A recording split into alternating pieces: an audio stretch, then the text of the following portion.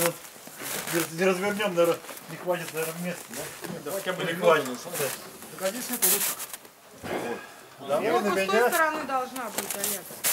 Такая, такой же поручень. Можешь самотак и снимать, да, вот как вот. есть. Нет, снять будет не Только смотрите, сильно не перед, чтобы он не наклонился, блин, развернуть. Теперь наоборот, э, сюда надо. Теперь здесь толкай.